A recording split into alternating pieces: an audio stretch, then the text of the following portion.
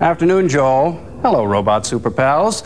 If you have a moment, and I assume you do, Frank and I would like to demonstrate an amazing new fitness product. It's called the Square Master. You see, the Square Master allows you to maximize your human potential because Square Master uses one of nature's most perfect shapes for your perfect shape. How does it work, Frank? Squaremaster allows you to utilize complicated principles of inertia and mass simply, efficiently, naturally. How? By using nature's perfectly balanced muscle resistant, gravity. That's right. For a beginning anaerobic workout, start with hands on the outside of the square. Then, when you're ready, go inside the square. Put your feet on the square. Sit on the square and simulate rowing. As your workout improves, you can link two squares together to form a rectangle. Now you're really working out. And for full aerobic conditioning, work on your Shemp area.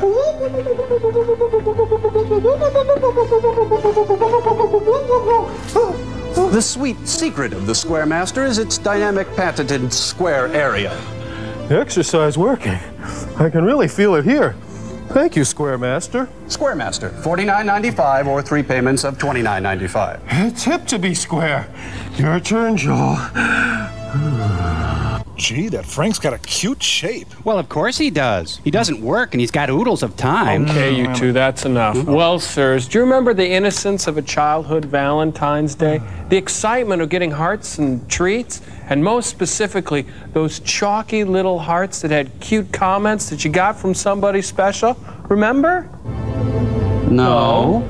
Oh, uh, uh, it, it wasn't really that big of a deal. Uh, somebody help me out. Uh, well, uh, well, sirs, uh, kids used to give candy hearts with cute sayings to kids they liked. Uh, well, it's true. Just buck up and face it. Anyway, uh, we thought they sounded pretty neat, so we decided to bring them back for adults. Only this time we're calling them bitter sweethearts. Yeah, see? because they deal with things in life that are awkward to say. And because they deal with tougher, more upsetting issues than puppy love, we've made them into tasty, easy to chew antacids, which, by the way, are an excellent source of calcium. Yeah, next time you don't want to say it, don't. Let bittersweet hearts do it. Uh, like this one says, get out. Owie, owie, owie. Love me. Uh, still mad. My needs. Here we go. Bite me. Drop them. I'm tested. That hair. Uh, can't leave the county. Perfect for interventions, counseling sessions, or awkward dating situations. Look at this weird face. Uh, you'll do. Like a brother. Ah, pretty neat, huh, sirs? Does it say that on there? Oh, uh, Oh. yeah. How sweet. Anyway, I think people should talk to one another. Gotta go. Yes, Joel. Insert perfunctory acknowledgement here. Joel, my invention today is for all the right reasons. Because stress levels aren't high enough in America, because people need to know how very important you are, and because you may be in line for a movie when that important project deadline comes and goes, I'm talking about the cellular desk. You see, with the cellular desk, I can live my job. Why, I can take an intimidating meeting anywhere. Why, just today, I was out for a walk, going through some files, and I realized that it had been a while since Frank's last employee review. Frank, could I see you in my office? I'm right here. Ah, Frank. Take a seat. Frank, I was just going through some files and I realized it had been a while since your last review. Frank, could I see the Frank I'm file? right please? here. Ah, uncooperative. Hostile. Uncoordinated. Oh, Frank, Frank, Frank. Well, Bear Witches, Whew. I'm glad we're hourly. Yeah. you know, uh, John Lennon said, sirs, instant karma's gonna get you, but now you can get instant karma. That's right, Joel. What goes around comes around, but now you don't have to wait for it. and no more confusion about what incident correlates to what action. Just watch. Oh, say, Joel, I just sent my whole allowance to Sally Struthers. oh, to sponsor a child. Uh, no, for her. I just feel sorry for her. Sure, we all do. Well, let's check out what your karma is, mister. Okay. Simply pour contents into a medium sized mixing bowl, add water, and presto, there's your instant karma. Wow! Strawberry licorice, great! Wow. Uh, uh, how about this? Uh, Servo, I cleaned up your room today because I know your arms are useless and everything. Oh, th- th- uh, thanks, I, I think. All right, let's see what happens. Add a little water to the Smells good. instant karma. Okay, anything happening? Joel, I, I can't really explain it, but I've got this incredible sense of inner peace and well being. And a Snickers bar. Here you go, Oh, lucky duck. Wow, You know, man. um, Tom Servo, there's also uh, bad karma. Oh, yeah? Uh, yeah, remember the other day when you borrowed uh, Crow's Danskin? You stretched it and then pitted it out. Well, uh, so? let's so see what happens. what- we'll add a little water What here. can possibly happen Mix to me up. for oh, that yep, one? here it comes. Crying out loud. Oh no, my aunt's coming to take me to the Michael Bolton concert. Oh man, I'm really sorry. Well, Oh, we've got some forget- pretty good karma going up here on the satellite of love. What do you think, sirs? Hmm? Think you've got good karma, eh? Then how come you're going to be watching another Hercules film? And the very first Hercules film, the one that started it all? well, we all shine on, don't we, Mr. Robinson? Frank, send him the movie. I'm right. Frank? Oh, absent. Oh, Frank, bring me that memo. Oh, Frank, bring me some coffee. Yes, I'm Dr. Forrester. I'm king of the whole world. Oh, sorry, I, I didn't mean to. I was just about to. Push uh, the button, perhaps? You know me so well. Now remember, Hobie, you stay away from the kids down by the liquor store. Hey! Baywatch can wait for now, Frank. With the money we earn from this week's invention, we won't have to watch Baywatch. We'll be able to live it. So that means I could be just like David Hasselhoff. I better practice sucking in my gut. You're one to talk, eh, Frank? Hey. Well, Booby, our invention this week is based on those new high-priced TVs that allow you to check out several other channels on the small screens while you watch one program on the big screen. Our invention goes that one better. You see, it actually allows you to check out and see what you would be doing in your life at that moment if you weren't at home watching TV. It's called the U-View. Check it out, Frank. Price is uh, $180 coming to you for only $29. Uh, quantities are limited. Hey, it's a beautiful, bright, sunny day out, and what's this? Michelle Pfeiffer, Debra Winger, and Holly Hunter are motioning for me to come over and join them in a game of touch football? Wow! They needed a fourth player, and I just happened along. Wow! Hey, that's Elvis Costello. He just happened to walk by, and he's. It looks like he's asking us to come over to his house to hear some new songs he's working on. Wow! So that's what would have happened if I had gone out today. Boy, I'm really glad I stayed inside to watch Baywatch. No. Try that. I'm sitting in a Perkins looking at a menu. Well, that doesn't seem to be uh, like I'm missing anything for the. Uh, whoa! Wait, wait. Oh, uh, Henry Kissinger and Richard Nixon are shyly approaching my table. They're shaking my hands and patting me on the back. Uh, Henry's giving me a Kissinger and Associates sweatshirt. Nixon, is, what is he doing? He's pointing at the menu. Ah, he's recommending the club sandwich. oh, I do love this, Frank. But not as much as I love sitting at home watching Baywatch. Oh no, I'm in big trouble. I never should have hung out with the kids down by the liquor store. Well, sirs, our invention may look like just an ordinary Weber grill, but it's much, much more than that. Yes, it's the Andrew Lloyd Webber Grill. Hey, everybody, come and get it. I got a whole ream of Andrew Lloyd Webber scores, and they're all ready to barbecue. Yes, now you can take out your aggression on the theater world's most inescapable troll-like composer. yeah, just stick any of his many overblown scores in the Andrew Lloyd Webber Grill, hmm. and they'll burn quickly and efficiently. Whether it's Cats or Phantom of the Opera, Starlight Express or Evita. Hey, wait, I kind of like Davita. no time for sentiment, Joel. We've got to burn aspects of love and chess. Hey, wait a minute. Andrew Lloyd Webber didn't write chess. It was hmm? Tim Rice and those guys from ABBA. Oh, I think the Andrew Lloyd Webber Grill can handle them. And we might as well burn the score to Annie while we're at it. hey, What do you think, sir? Oh man, Elvis is holding up a picture of Andrew Lloyd Webber and making fun of it. Holly, Debra, Michelle, and I are having a good laugh at his expense. We're having a great time. Why did I stay inside today? Why? Why? Why? Oh wow, Mackenna's Gold is on. Shh. I'm watching me on the U View. Michelle Pfeiffer and I have just had a fabulous date.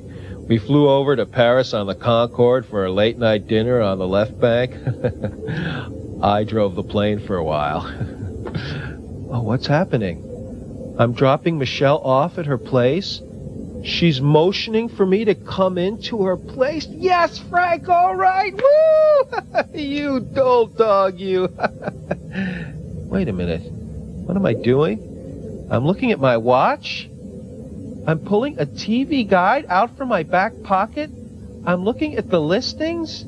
I'm telling Michelle I can't stay because I have to be home in time for Baywatch. What the hell are you thinking? Stupid idiot! Don't oh, oh, oh, push the button, Frank.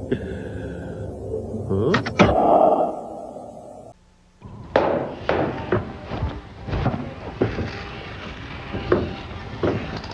So I think you said, how are you two getting along in here? Hey! Did you, did you Nothing. Not. Oh, you were too. No. Um, Nancy and Sluggo are calling on the. Stay away from my book. Oh, hi, Joel. That was really something. Eh. Well, anyway, Dr. Forrester's been away since last Tuesday. I finally convinced him to go to one of his class reunions. He's got nothing to be ashamed of. Uh, so I've taken it upon myself to develop this week's invention exchange. Now, we've all heard of virtual reality, right? The gloves, the goggles, the wires. Well, I've come up with a similar concept that allows the average person to achieve that universal goal becoming a stand up comedian. It actually puts you inside the total comedy club environment with the laughter, the clinking glasses, the waitresses, the overpriced drinks. Uh, it's something I like to call virtual comedy, and I think it just might go a little something like this. Oh, thank you, thank you, thank you. You guys are a great crowd. Oh, thanks for coming out tonight. Well, what can I tell you about myself? Well, uh, I'm single. Big surprise there, huh? oh, thanks. You guys are great. Give yourselves a round of applause for coming out and supporting live comedy. Yeah. All this adulation can't be too good for Frank. Let's see how he deals with a couple of drunken hecklers. Oh, what else? Oh, well, I went to visit my mother. That's always a good thing to do. On the way there, I got pulled over by some cops. God, I hate the... Huh? You're not funny. Well, you're uh, pretty ugly is what you are. Uh, huh? Huh? Well, I, I'm sorry. I didn't mean to imply that. It's almost too easy. Your turn, Joel. I tell you what, I'm going to bring out your headliner right now. Well, sirs, we've all played miniature golf into the small hours, and it presents quite a few nagging questions. Like, is it really golf? No, it's not. And is it really miniature? No, not at all. It takes up a heck of a lot of space. Hence this week's invention. Not only have we taken golf and turned it truly microscopic, Witness the microscope. but micro golf really is actual golf. Here's how it works. On each of these slides is an entire golf course, combining the technical know-how of biologists like Alexander Fleming with the impeccable course design acumen of Jack Nicklaus and Chi Chi Rodriguez. Hey, uh, each course is constructed of lush E. coli, pardumen specimen, and the finest subcutaneous fascia. Okay, now I use this paramecium for a seven iron, right? Uh, right, Joel. Uh, but but I consider the Euglena Niblick on this shot and uh, try to put some spin on it. In All keeping with the grandeur of micro golf, let us speak in hushed tones. All right, and oh, Robinson teed off moments ago on the short par 5 11th, normally considered a birdie hole. He really let fly using a medium shafted mitochondria. His Golgi body is sitting a neat 0.07 micromillimeters from the flag. Robinson really needs a birdie because the wheels have been coming off. This shot is a bit trickier than it looks, what with the lymphatic plasma to the left and the green sloping towards the nucleoli.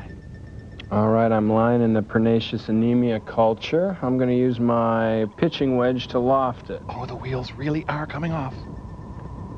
There they go. What do you think, sirs? All in all, I'm glad I went, Frank. I think I came off rather well. I didn't mean anything by that. Actually, your wife is very lovely, sir. No, please sit down. It was all in good humor. You're a really nice audience. Bounce! Frank really does stink, you know. Anyway, Joel, your experiment this week has a dual purpose. Oh, it'll hurt like always. But my little trip to the alma mater reminded me that I had done some undergrad study in the field of supervillainry. I'll be conducting a little seminar after the film, taking some questions. In the meantime, please enjoy Secret Agent Super Dragon. Security, Joel's teeing off. Point zero zero four. Oh, we gotta go! Look at this, we're getting this hole!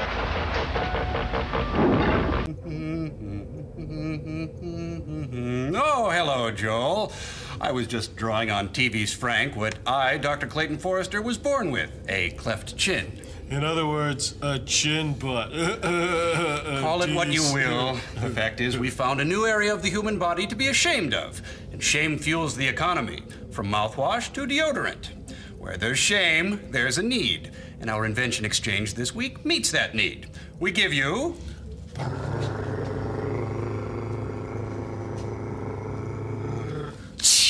Chinderwear! Frank's wearing the basic brief while I'm sporting the bikini cut. It also comes in boxer, Italian bun hugger, and of course the Joe Namath knitted slingshot brief. They're affordable, comfortable, and leave no visible panty line. Oh, Frank, that's disgusting. If you ask me, you guys have been underground a little too long. anyway, our invention exchange this week is based on Frank Sinatra and the Rat Pack. It's the Rat Pack chess set. You see, the Rat Pack was sort of a drinking man's Justice League of America. The closest thing to royalty our great nation has yet produced. Why, they were the kings, queens, knaves, rooks, and pawns of our popular culture. My team on my side of the board is the actual Rat Pack. Frank Sinatra, of course, Dean Martin, Sammy Davis Jr., Peter Lawford, Joey Bishop, plus supplemental Rat Pack members Shirley MacLaine, Sammy Cahn, and Jilly Rizzo. And of course, my side of the board has the Rat Pack's nemesises. Well, there's uh, Shecky Greene, uh, Kitty Kelley, Liz Smith, Earl Wilson, Sam Giancana, Judith Exner, of course, Bobby Kennedy, and the Dark King himself, Mitch Miller. Oh, boo. Right, okay, now how do the pieces move, you guys? Uh, well, Dean Martin can only stagger sideways across the board. Uh, Sammy Davis Jr. can move in a variety of different ways because he's so versatile. hey, let's face it, the man was the consummate entertainer. What about uh, Joey Bishop? He moves however Frank says, baby. Okay, and what about uh, old Blue Eyes himself? Where does he move? Wherever the hell he wants Oh, to. right. After all, he's the chairman of the chessboard. And check it out, he talks too. Here's two bucks, doll face, because that's just what you're worth. Wow. cool. Now, uh, what about Peter Lawford over here? Well, he inevitably gets kicked off the board when. JFK snubs Frank and stays at Bing Crosby's Palm Springs home. Well, then you can replace him with either Don Rickles, a Toots Shor, or the leggy Juliet Prowse. Uh, sometimes Dino passes out and can't continue on. In that case, Liza Minnelli, uh, being the trooper that she is, is always ready to replace him at a moment's notice. So you see, everybody, even when a game like chess is Americanized, it's still really complicated. What do you think, sir? Oh, Joel. I was just. Doctor, have you seen my long underwear? I'm late for my ice dancing lesson. No, I haven't seen your long underwear, Frank. And to be perfectly honest, I wouldn't wear your long underwear even. Oh, Joel. Invention exchange. Um, I've got a nutty idea. but uh, be a dear and go first. Uh, I need a couple of minutes. Sure, if you're not ready to go, we'll go, no problem. Jeez, foot. Anyway, my good friend Crow locked up the deal to do the music for the Beverly Hillbillies movie. Yeah, well, we're hammering out a deal memo. And it led to an amazing discovery. Right. Now, remember the Beverly Hillbillies was part of the Paul Henning Hooterville trilogy? Right, that was the Beverly Hillbillies, Yep. Green Acres, and Petticoat Right, Junction. right, right. Uh, they all had this really cool incidental music. Yeah, it was music that went. Right, right, right, right. No, no, no, no, no. If I made Joel, it was more like. The point is, I didn't know how to make that music until we came up with. The porcarina. Now, don't worry, all you pig lovers. We didn't use a real pig. We didn't. No, we just reinvented the instrument that made the original incidental music. The original was lost in the tragic Universal fire. Hey, here comes Mr. Haney pulling another hilarious flim flam. Well, Mr. Douglas, that there is a genuine dirt burger. That's not a dirt burger. And there's the efficient Miss Hathaway. Oh, Jethro! And there's Uncle Joe. He's moving kind of slow. At the junction. Well, pretty hot. Kind of tired. He's gonna go fishing, but it's too damn hot. Better sit down for a little while. Yep, yep. When's that government check coming in? Pretty hot. Kind of bloated. Gonna die soon. You're up, sirs. Joel, the human body. Unattractive? Sure. Even worse, it's inefficient. Especially Frank's human body. I'm late for my ice dancing lesson. That's why I've drained Frank's blood. You what? You can't do that! Don't worry, I replaced it with propylene glycol, radiator fluid. I even surgically implanted a radiator so Frank won't overheat in the summer and won't freeze up in the winter. And you act like I'm the jerk. I'm so cold. Granted, uh, Frank's new system does need to be flushed nightly, uh, but once you get the hang of it, it's not quite as tricky as it seems and can even be done on an outpatient basis.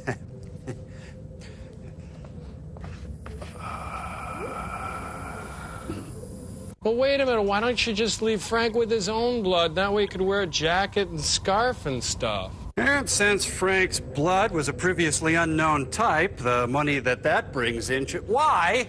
Because it's science, that's why. Frank, here. Why don't you run on to your lesson now? Come on, go ahead. Scoot, scoot. Joel, speaking of unattractive human bodies, your movie this week, E Ga, has got Richard Kiel and not much else. Look, Frank signed all the forms. It's an improvement. He even likes it. Why, he's probably out there right now skating his little heart out. Eegah. Oh, God. Ah. No, not now, Joel. Daddy forgot Frank's regularly scheduled maintenance.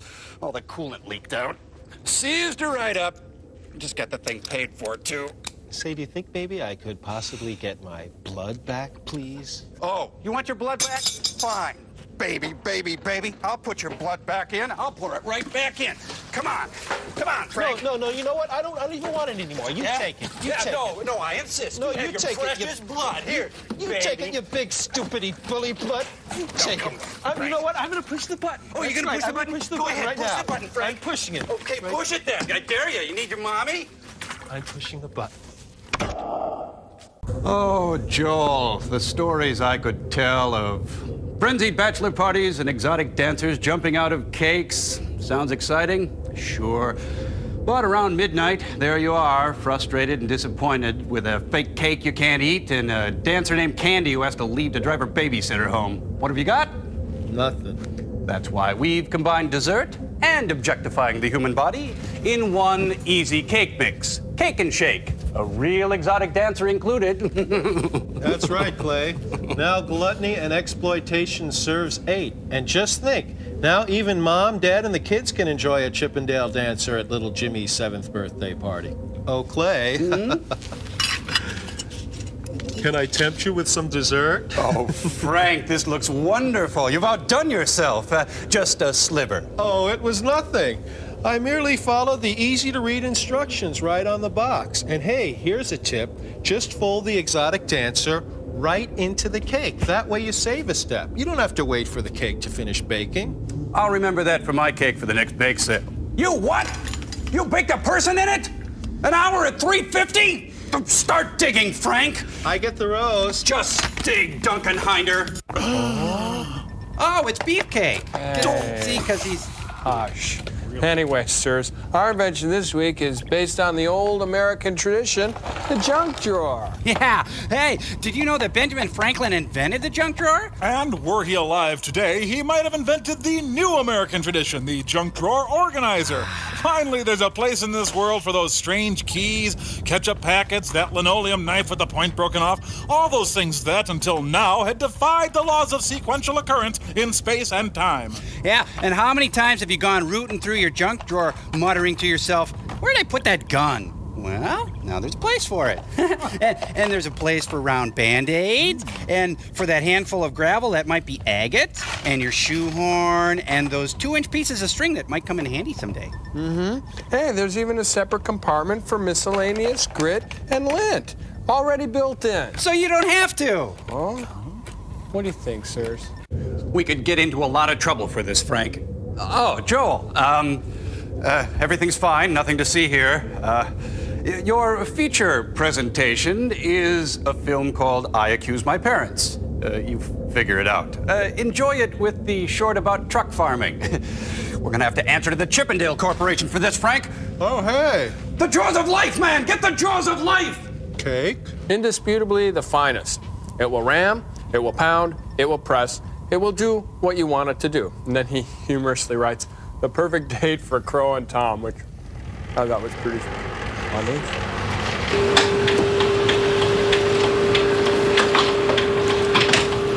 I accuse you, Joel. Now, carefully hand over the hamburger sandwich. Don't let them forget the french fried potatoes garnish. Right. Joel, you magnificent bastard, I read your menu. Come on, we gotta beat Marty and Messina, maggot.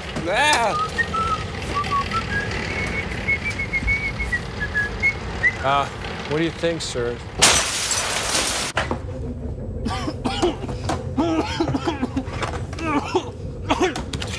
Uh, sorry, Joel, uh, didn't catch that. We uh, came this close to losing. Uh, losing Rodney. Uh, right, right. Almost lost Rodney. Is this enough, Dr. F? Uh, no way, Frank. There's plenty more frosting to shovel. It, oh, just go push the button, you freaked out maniac. Uh, look, Rodney, I'm sorry this whole thing got out of hand. I'd like to make it worth your while. Uh, oh no, that's that's all right. That's, you've done enough. ah, Joel, I wonder if you wouldn't indulge me today. Uh, uh, Frank's been down a bit lately, and uh, well, when the poor fellow's not shuffling head down through the lab, he's locked himself in his room watching old Misfits of Science episodes. So, to pick him up, I thought I'd let him do this week's invention exchange. Really put the spark back in. Dr. F, I'm ready for this week's invention. Uh, we're ready for you, Frankie. Right. My invention exchange this week these fully lined leather sprinkler pants that I like to call Lederhosen hosen. Now I can schottische while watering my plants. In my Lederhosen hosen.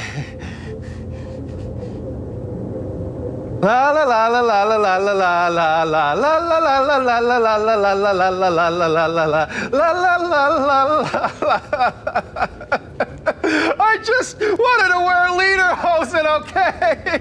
It's a stupid invention, I admit it. I just wanted to be Bavarian for one brief shining moment. Is that so wrong? Oh, Frank. Yes, it is wrong. Deeply wrong. But you've been under a lot of stress lately. Uh, tell you what, we'll get you an Alpenhorn. Would that make you feel better? Yes! Uh, why don't you go on with your invention exchange, Jim? Uh, it's Joel, and if you'll indulge me, your hinderness, I'd like to turn over this week's invention exchange to our own Crow T robot. Thanks, Joel. The vulture, long associated with pestilence and death, is in reality a clean and helpful bird who is quite easy to get along with. So, to improve his image, I invented Sarah, the bobbing buzzard. Sarah? Yeah. Uh, based on the water drinking bird, this friendly carrion eater cleans up roadkill or table scraps. That's great, Crow. Yeah, it kind of looks like you, Crow. I think you'll agree there are few sights in nature as beautiful as a plump member of the Cathartidae family pulling a sinewy string of fetid meat off a weak, dead Thompson's gazelle. There's a theme song. Want to hear it? Uh, uh, sure, Crow. Bob and Buzzard. Caw, caw, caw. Bob and Buzzard. Caw, caw, caw, Bob and Buzzard. Diddly diddly dee. Uh, what do you think, Diddly sirs? dee, diddly diddly dee. Uh, your movie this week, Joel, stars the. Ricola? Oh, thank you, Frank. Would you just get back there? Your experiment this week, Joel, stars Sean Connery's brother Neil. And they're more than happy to tell you that. It's called Operation Double 007. And now I have to strangle Frank. Help!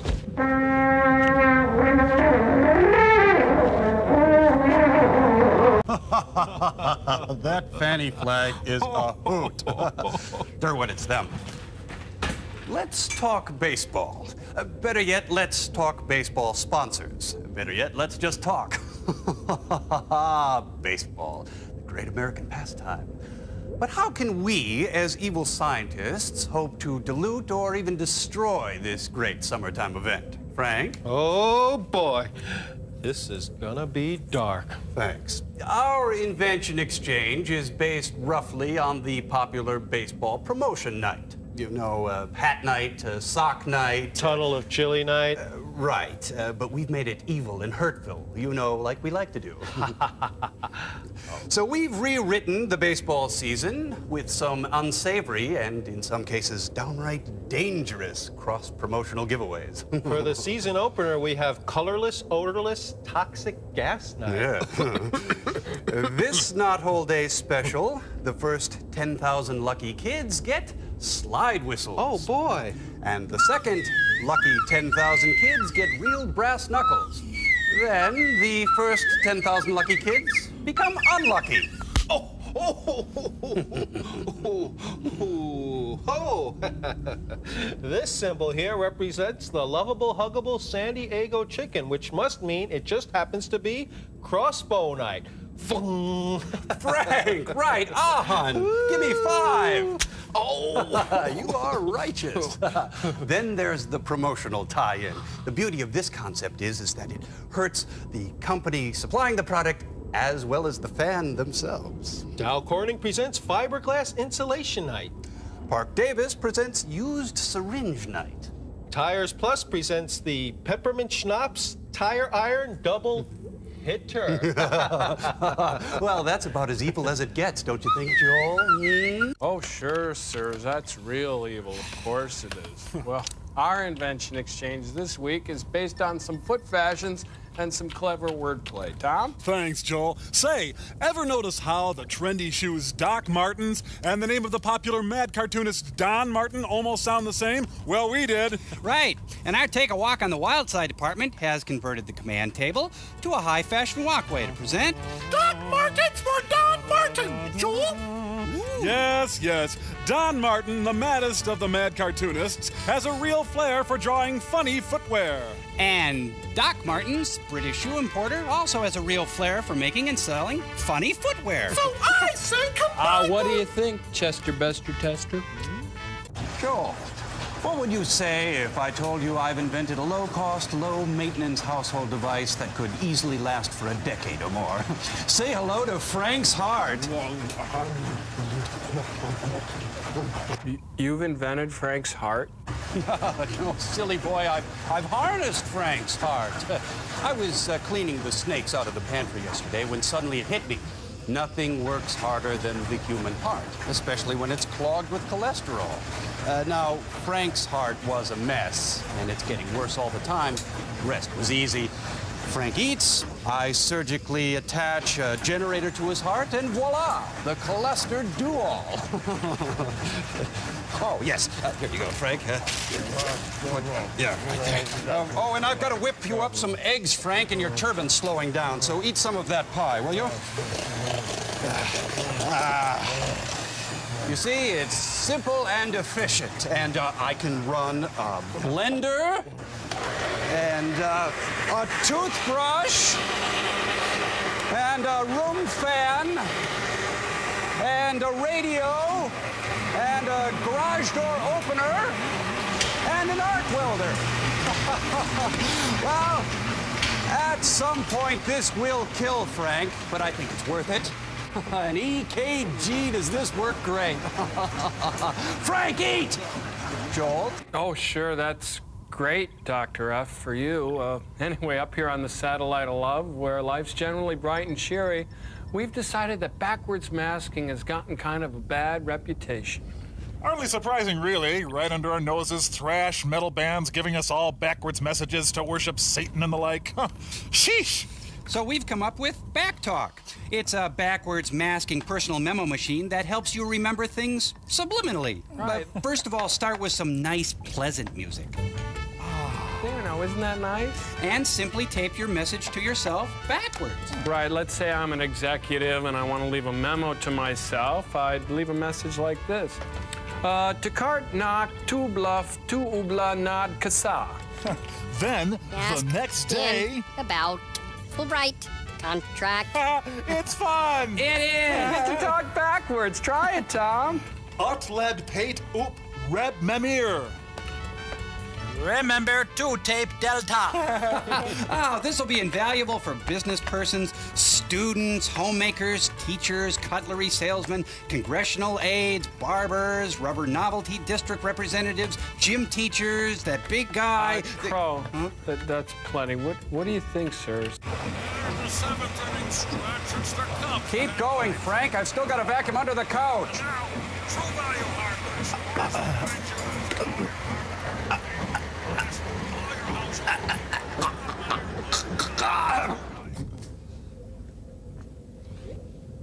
Oh, good one, Frank. Uh, Lassie is an animal and therefore not subject to the same moral or ethical code that human beings are. Otherwise, they'd all be arrested for public nudity. Huh. Got a point. Yeah, makes sense. What do you think, sirs? I'm going to bed. Frank? Frank! Frank! Frank, no! Hi, Joel. Uh, Frank's dead again. well, I gotta go out and buy him a new heart now. Like there's not enough I gotta do around here. I'm coming, jeez! Oh, hello, booby. Say, do you want to make people's heads explode? Sure, we all do. Well, my invention exchange this week is a study guide I put together called the Scanner Planner. It's filled with lots of life's little instructions on how you can scan people's brains and make their heads explode. Now, the first thing you'll need for your scanning is a good subject, someone who's your moral and intellectual inferior. I wonder who that could be. Hi, Dr. Forrester. What you doing?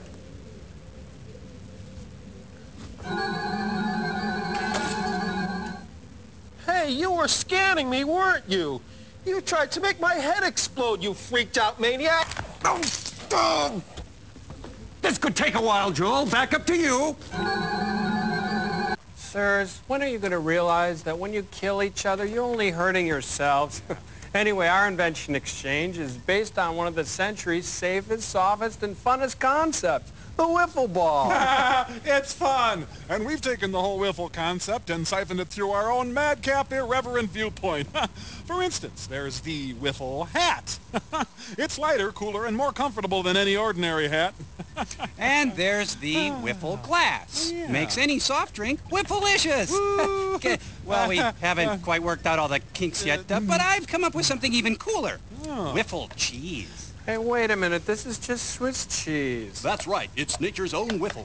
That's right, and think of the possibilities. They're endless. Wiffle cat, Mm. wiffle dog, wiffle roach motel. Wiffle sports jacket, wiffle replacement hip, wiffle underpants. Wiffle shoehorn, wiffle apartment building, wiffle Claude Akins. Wiffle! What do you think, sirs? What? Oh, Joel, uh, your movie this week is your first Western. It's called Gunslinger, and it stars Beverly Garland in her pre-Doty period. Beverly Garland. It was also directed by Roger Corman, so your hits may explode before Frank's does. Yippee-ki-yay, Mama Jama. Oh, he made my head explode. Thank you, Dr. Forrester. Thank you. Oh, we got Thank you. Oh, wow, it worked. I blew Frank's head up. Well, remind me to snap on a new one, Joel. Until next time.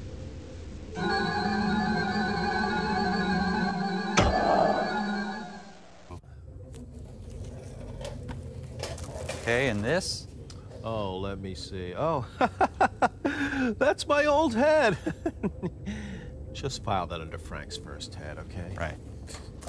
Oh, hi, Joel. Uh, look, we're way too busy to even do an invention this week. We're being audited. You go right ahead, though. It's a Doc Tari stool. What do you think, sirs? Doc Tari stool? Whatever. Anyway, Joel, it's a madhouse down here. Uh, we're being audited by the Fraternal Order of Mad Science. You know, one of those are you really mad enough sort of things. Frank? Free Jarvik 7s. Put them in the junk drawer. Geez, didn't the temp agency test you on any of this stuff? Well, I'm a little off my game. I'm not normally required to wear a leg iron like this.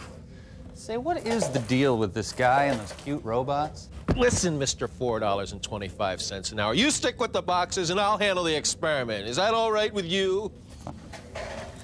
Frank, can I see you a minute? Sure thing, Dr. F. Say, Steve, this temp stuff is working out great, don't you think? Well, I'm so glad your little friend is working out so nicely, Frank. Now, what about sending Joel the movie, a boob? Oh, the movie, the movie, the movie. Oh, for the love of the movie.